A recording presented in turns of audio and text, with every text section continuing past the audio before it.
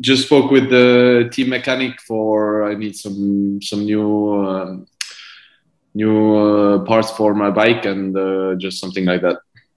Cool. Thanks for sitting down and talking. I appreciate this. Yeah, no problem. Absolutely no problem. Uh, do you go by Karl Patrick or just Karl? How do you prefer? Because uh, we have a saying in Estonian that um, that a good kid, a kid has uh, multiple names. That's amazing. It's uh well, it's actually been shown that like people think you're more professional if you have two names. So when I saw you and I looked you up in like my profile for LinkedIn and business stuff, I put Brendan John Hausler. So people will message me. They're like, "Hey, Brendan John." I'm like, "Oh, you can just call me Brendan." It's funny. I like that. Um, so did you were you in Estonia for through high school and university, or when? And where are you now? Uh, we were. I had um, because I got uh, I come from an island, Mm-hmm. so I did the first nine nine uh, classes I did there, Mm-hmm. and then I went to south of Estonia. We have um, like a sports oriented school where you do the the last three years before the before the university. You have to do the other t- uh, the after nine years you have to do the other three years to to progress further to to go to university. So i did uh, three years there. And i it was like a normal school but we also got the like the degree uh, to be a trainer. Okay. so i have uh, the first category to be a trainer but uh, i don't train anybody because it's the it's uh, i'm not that confident so um, so yeah and then uh, already my last last year in school i when i was 19 i got i got the i got the place in the in the team i'm actually right now. So just came here first. We had uh, some i think february march i was here then uh, april I was with the national team as we had the Nations Cups and uh, all these races. Mm-hmm. And then I went back uh, to Estonia to finish the school. And after on the second part, I was I came already uh, full time here, and uh, I'm still in France. So so that's it. Awesome, man. That's fantastic. And so people are going to look you up. People um, will probably look up where Estonia is. Embarrassingly, some of us don't have the best geography. One thing that I know people will look look up when they look up your name, stagiaire. So there's you, people can Google it, and other people call it a trainee. Can you explain that role and kind of wh- what that and what was that like being on a team where you're a stagiaire? Uh, well, I've been in two two teams. I've been uh, I've been uh, trainee. Stagiaire is more uh, uh, more French word, so it's uh, trainee is the is the English word English word. Okay. So I was 2017. I was in Astana. So this was really really a cool experience. But uh, I did some races with them. I think I did tour of Norway and then the whole block in on, in Italy in the end of the year. Mm-hmm. So the tour of Norway I really enjoyed. I would say the Italian races were a bit too hard Mm. by by the profile, but still uh, got some really really nice experiences. And uh, also I was with them. I was in Mil- uh, Milan Turin. I was uh, I was in the in the breakaway whole day, so it was a nice experience. But when I asked well what's what the future will bring for me, uh, they said uh, yeah we we won't sign you. Of course, it was.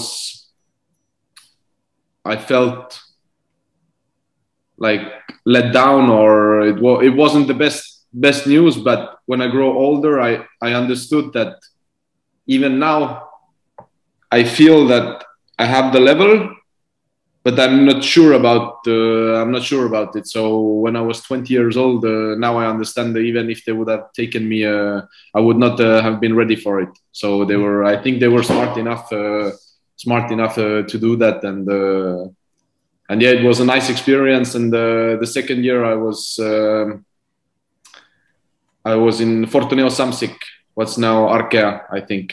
Okay. And uh, it was also few few good experiences, but uh, but not uh, not the same uh, with uh, Astana. But uh, I would just leave it by that. When you say so, when you were saying that the race was just too hard, obviously guys are faster. If I go to a race with pros, the race is too hard.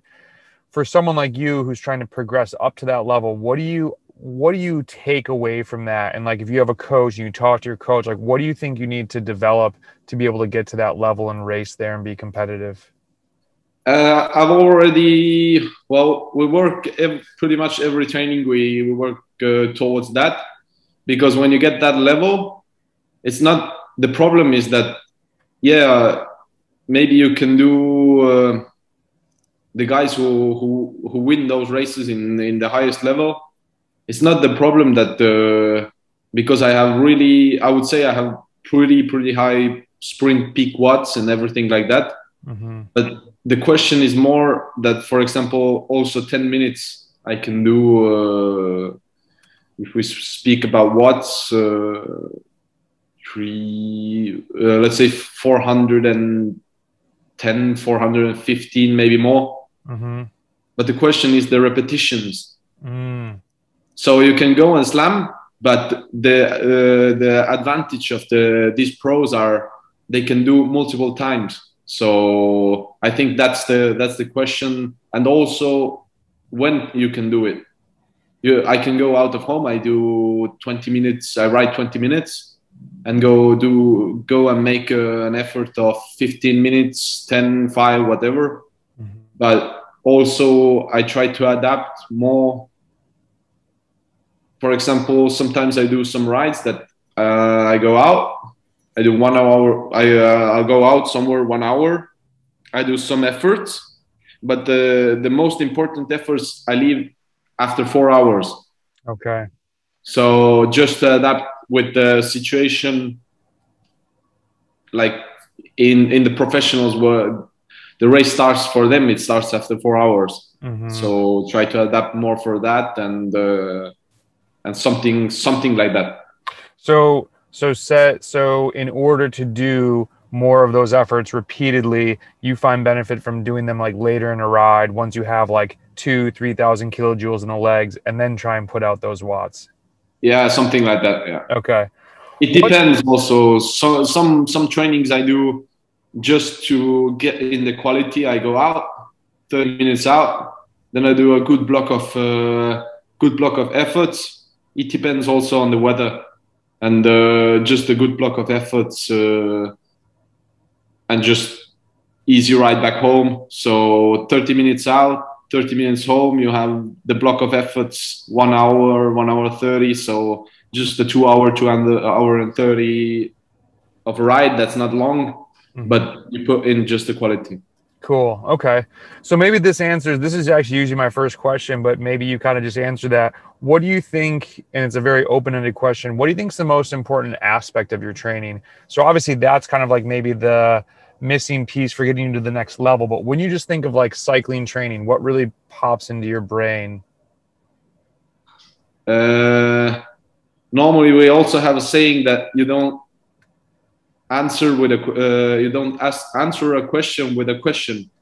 But the i also have the questions uh, i took a look and i put put them on the side. Uh, so you you put a question what was the most important aspect of your training? And my question is what this training uh, if i do that training what does it give to me? Mm. like for example like really like if uh, if I have four hour ride just endurance, what does it? What's the benefit of of this training? I, I also pretty much every training I have, uh, my my coach sends me the for example a two day block, mm-hmm. and I ask what's that training meant meant to be. For example, four hour first day is four hour, and just ride by feelings, but not too hard. So just endure, endurance. So my question is, and the, the answer would be something like just to stretch the engine, you know. mm. some something like that. So uh, that's I think one of the most important aspects of of my training, just to to train smart mm-hmm.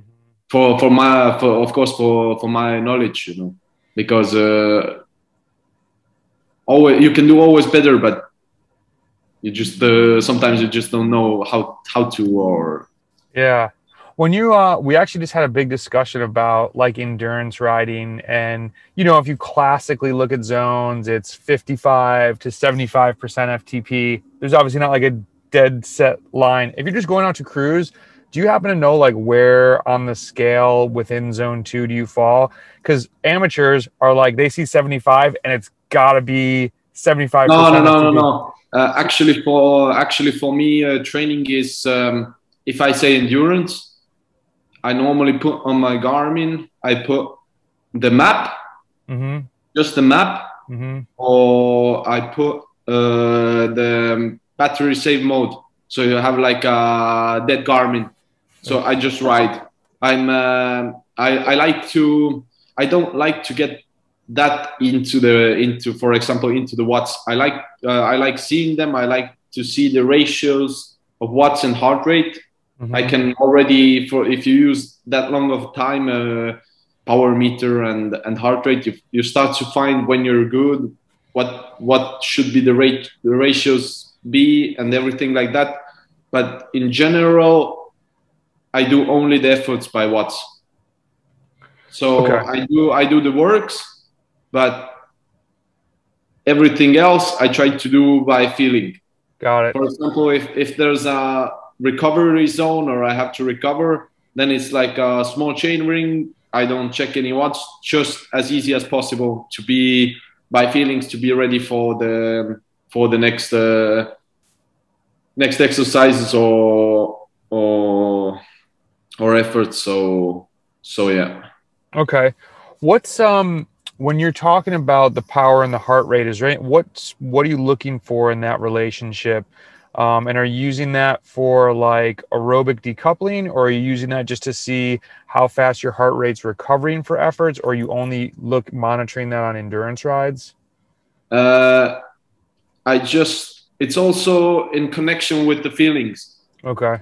For example, when I'm really strong, or for example, let's say I feel really good, I go out when I was younger, there was like if I can keep, for example, 10 minutes, 300 watts, it was like uh, 150, 155 heart rate. Mm-hmm. Of course, it changes by the by uh, by the time you ride your bike and if it's in, in the end of the ride. But sometimes, for example, now I go out, I do 300 watts. Let's say between 270 300 watts and it, my heart rate is around 125 130 mm-hmm. so but it's also you cannot explain it to if if now some listeners are are starting to look that it's very personal mm-hmm. it's really really personal the and it depends uh, from a lot of how how much you have taken co- uh, caffeine how mm. how hot is the weather so you have to there are so many so things. many factors but in, in, general it's also if you see this and you also feel strong it's it's just a click you know. I, I, don't especially look for any ratios. Just it's the click you know it's uh it's, it's good you know you're feeling good. Well it's smart man. I mean you get i think people can already gather from listening to you talk in 10 minutes you're super in tune with your body but you're also not obsessing over one metric. And like i'm amazed at how much uh not credit but people i had an athlete that i just had to tell him like hey can you stop looking at your heart rate because he was like hey i was going kind of hard and my heart rate was getting really high i decided to back off and i'm like dude it just like you said, it could have been caffeine. It could it's getting hot out here in the U.S. Like there's so many factors. Don't don't stop just because your heart rate's getting high. Like yeah, yeah. That but that's also the um, the thing if you have a power meter on the side, mm-hmm. because some sometimes it, it also depends. You know, it it has to be in balance. Yeah. But you cannot. For example, it's only in the training. For example, in a, in a race, I never look heart rate Yeah. I also I put also the watts uh, in minimum. I try to race on instincts, but uh, but but yeah, it's uh, for me. It's also every. It's good to chat about these things, but for me, tra- uh, with train training and everything, it's it should be only you, and you should compare yourself only to you, and and you should uh, should check uh, only only it's Don't look at everybody else's Strava. yeah yeah yeah yeah. yeah. What so speaking of you, what does your training mostly consist of? Um, I realize it's hard, you know, there's different parts of the season and whatnot, but what do you what do you really like doing? What makes you tick? Uh, for example, during the season, I don't like gym at all. Hmm. But Why because? It's, it's nice weather, I don't like to go to the basement. Uh, I can do the all the efforts in, but in winter I really enjoy. For example, in in the end of the season, for example, September, maybe in October, you have some some races, but then you have the rest part, and then you before the rest, you oh, I would like to hit some reps in the gym or or do something like that.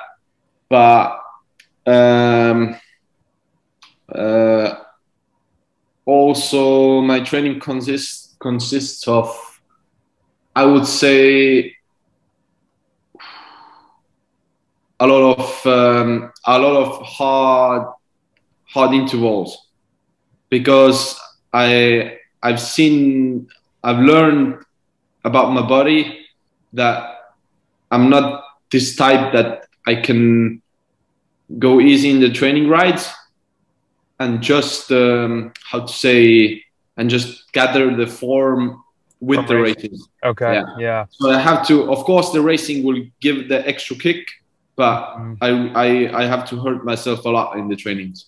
What what what are some hard set? What do you consider hard? Are you talking like FTP stuff, VO2 max stuff? Are you uh like For, anaerobic? for example, Yeah. I will put you.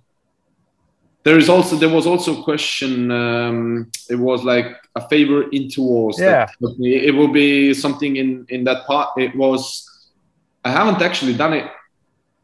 Um, quite a long time. I I did this spring, but uh, I feel good, so it's it's not so important. But if I really need to put in the work, or or for example, I do some racing and I have, for example, let's say ten days, and I, I and I see I'm I haven't won yet, Mhm. so I have to get into better shape. It's like I do. For example, I go out, and it's it, it depends. But for example, if I'm at home, so it's flat, it's even harder for. But I do three times eight minutes. Let's say about. Let's say about. With seven or eight minute recovery between them. But the eight minute is two minutes at let's say 435 watts and the other six minute is around 400 watts so 400 two minutes at 440 so it's really really above my my ftp so it's uh it hurts a lot Yeah.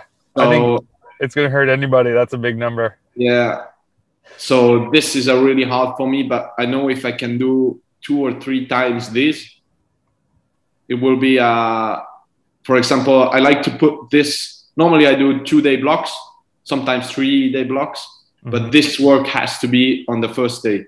Okay. so this will be on the first day and the second day can be uh, some other other um also some other other intervals but they are not that hard So if people want to try this, is like your threshold around 400 or is the 400 above threshold also? So the threshold it's uh, like the um, uh, FTP, yeah. Yeah. So okay, so you're going Uh, like so so I would no no no. It's uh, it's it's much more above. okay. It's around. Uh, it comes somewhere where uh, somewhere around my records. I think I think the best I've done this eight minute work is 431 watts. So it, it varies, you know. But if you can hit hit it around there, the eight minute watts, you do, uh, for example, first one, three. Uh, let, let's say first one is the best. You do 431, so second one 425 and even if the other one drops around 415 mm-hmm. so it's uh, already quite big difference with the first one but uh, but it's still uh, 450 watts for for eight minutes and uh, and also you can check the whole block because you do three times uh, eight minutes that's already 24 minutes Mm-hmm. So and put also in the recovery time of 21 minutes. Mm-hmm. You have uh, 45 minutes, and it it comes a quite heavy load. Even even with when you ride the really really easy the seven minutes. Okay, so that first two minutes is probably going to be like someone should be aiming for a VO2 max effort, like a 115 percent. If we want to just give somebody a rough guideline, because there's going to be people that hear this and they're going to want to go try and do it. Yeah, um, yeah, but. Um, it depends. It really depends because, for example, for me, I also check this because the first two minutes you check, oh, 440 watts. But actually, what hurts is the six minutes. Yeah.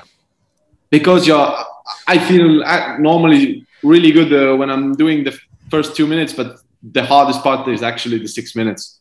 So I I'm getting coached by Tom Bell. He's a mountain biker in the UK, and he's big on the over unders. And so we were even doing like uh, we worked out to uh, three by 21 minutes where it was a minute over and I want to say 110 percent, and then the under was at like 85 90. So on paper, I'm like, oh, the under's not going to be a problem by the time I got to the third set, the under was the hard part. Like I could get up and crank for a minute, but then when I had to hold anything above zone two, I was like, damn, this is really freaking hard. Yeah. Um, so it's, I think it's, it's funny how the body is like, it's not always on paper. The easier is not always the easiest. Uh, yeah, but it, yeah, with the efforts, it's really, uh, this one is, is pretty much, we say like, I have a, like a love, love and hate situation with the, with this one. But I also, like I said, I really like to do things by feelings because sometimes if I also if I do these these efforts, like I cannot do do the what's the that I'm supposed to do because these are different. Mm-hmm. But what actually gives gives you the progression is that let's say you do it on a climb do the first two minutes normally you can do the do the the first two minutes. And then you start to suffer too much and let's say you have done the first three minutes of, of the six minutes. So you cannot hold it. But just fight it as just suffer it till the end as hard as you can. No matter don't check the watts mm-hmm. because that's your that's the this day this is your maximum. So just put put the effort in just suffer but no matter what the watts are. And um, also I like to add some efforts like 12 minute efforts on climbs. Mm-hmm. I have like first four minutes on 400 and let's say no 340 watts. Then the second uh, four minutes on um, 380 watts, mm-hmm. something like that. Mm-hmm. And then the last four minutes because for the head, you know, you can do. For me, this is not.